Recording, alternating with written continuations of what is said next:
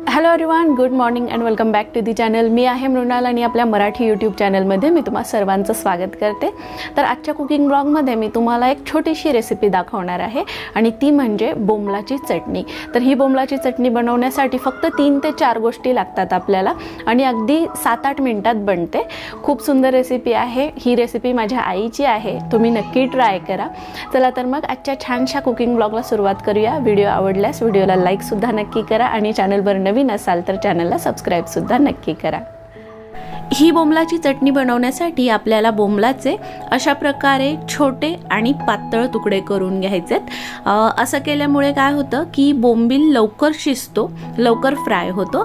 तर हे बोंबील चिरल्यानंतर याचे छोटे छोटे तुकडे केल्यानंतर मी याला दहा ते पंधरा मिनिट पाण्यामध्ये भिजायला ठेवले. हे बोंबलाचे तुकडे व्यवस्थित मुरलेले आहेत. आता मी यांना दोन ते तीन वेळा स्वच्छ धुवून घेणार आहे. अगदी चोळून चोळून धुवायचं आहे. म्हणजे याच्यावरची जी रेती असते ती निघून जाते.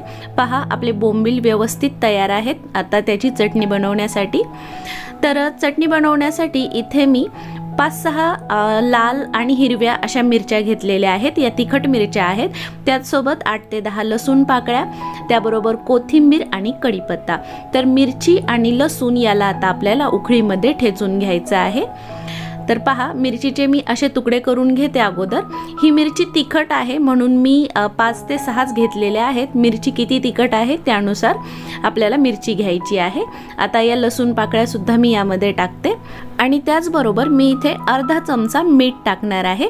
तर सगळ्या बोंबलाच्या चटणीचं मीठ मी इथेच टाकत आहे. तुम्हाला जर अंदाज येत नसेल तर तुम्ही बोंबील फ्राय करताना सुद्धा त्याच्यावर मीठ टाकू शकता. तर आता या लसूण मिरचीला मी व्यवस्थित टेचून घेते. ही लसूण मिरची तुम्ही मिक्सर जारमध्ये सुद्धा वाटून घेऊ शकता. पहा अशा प्रकारे मी लसूण मिरची आणि मीठ व्यवस्थित टेचून घेतलेलं आहे. आता इथे गॅसवर मी एक फ्राईंग पॅन ठेवलेली आहे. याच्यामध्ये मी दोन चमचे तेल टाकलं आहे.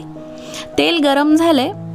आता याच्यामध्ये मी पाव चमचा हळद आणि त्यापेक्षा कमी थोडंसं हिंग टाकलेलं आहे. आता याला आपल्याला व्यवस्थित फ्राय होऊन द्यायचं आहे गॅसची फ्लेम मी लो ठेवलेली आहे. आता मी याच्यामध्ये दहा ते बारा कढीपत्ते टाकले. कढीपत्ते टाकल्यानंतर तेल कॅमेऱ्याच्या लेन्सवर उडू नये म्हणून मी याच्यावर झाकण ठेवलेलं आहे. तर आता कढीपत्तेसुद्धा फ्राय झालेले आहेत.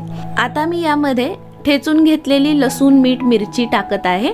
आणि या लसूण मिरचीला आपल्याला व्यवस्थित फ्राय करून घ्यायचं आहे अगदी तिचा कच्चेपणा जाईपर्यंत आपल्याला तिला फ्राय करायचं आहे तर गॅसची फ्लेम मी कंटिन्यू लो ठेवलेली आहे.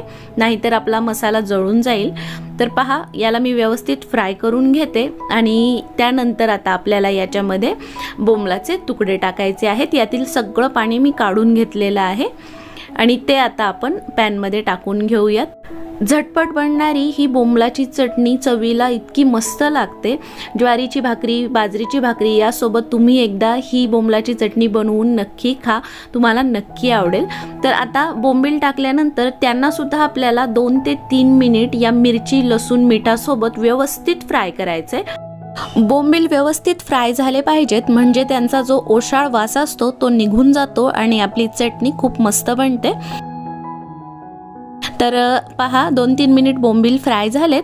आता याच्यामध्ये मी आपण बारीक कापून घेतलेली जी कोथिंबीर आहे ती टाकून घेते आणि तिला सुद्धा आपल्याला एक मिनिट बोंबलांसोबत फ्राय करायचं आहे ही बोंबलाची चटणी बनवताना मीठ जरा थोडं जपूनच टाकायचं. कारण बोंबील ऑलरेडी खारट असतात त्यांना खारटपणा असतो. त्यामुळे मीठ टाकताना थोडीशी काळजी घ्या. पहा आता ज्या उकळीमध्ये मी लसूण मिरची मीठ टेचून घेतलं होतं त्याच याच्यामध्ये मी अर्धा कप पाणी टाकलं आणि ते पाणी मी बोंबलाच्या चटणीमध्ये टाकलेलं आहे. तर हे बोंबील आपल्याला व्यवस्थित शिजवून घ्यायचे आहे पाणी टाकल्यानंतर याच्यामध्ये उकळी यायला लागली आहे आता पॅनवर झाकण ठेवून याला मी चार ते पाच मिनिट मीडियम गॅस फ्लेमवर शिजवून घेणार आहे. पहा पाच मिनिट झालेले आहेत आणि आपली बोंबलाची चटणी तयार आहे. तर याच्यामध्ये जे पाणी मी टाकलं होतं ते पूर्णपणे सुकलेलं आहे. ही बोंबलाची चटणी आपल्याला पूर्ण कोरडी करून घ्यायची आहे. याच्यात पाणी अजिबात ठेवायचं नाही आहे आपल्याला. पाणी पूर्णपणे सुकल्यानंतर याला थोडं एक दोन मिनिट आणखी फ्राय करून घ्यायचं. म्हणजे ती अगदी कोरडी छान होते. तर पहा आपली बोंबलाची झणझणीत अशी चटणी तयार झालेली आहे. ही रेसिपी तुम्ही नक्की ट्राय करा. खूप मस्त बनते तुम्हाला नक्की आवडेल. तर हा छोटासा कुकिंग ब्लॉग तुम्हाला कसा वाटला ते मला नक्की सांगा कमेंट करून. आणि व्हिडिओ आवडला असेल तर व्हिडिओला लाईक करायला विसरू नका. चॅनलवर नवीन असाल तर चॅनलला सबस्क्राईब करा. व्हिडिओ शेअरसुद्धा करू शकता तुम्ही. चला तर मग पुन्हा भेटूयात आणखी एका अशाच इंटरेस्टिंग कुकिंग ब्लॉगमध्ये तोपर्यंत स्वतःची काळजी घ्या. Till then bye bye friends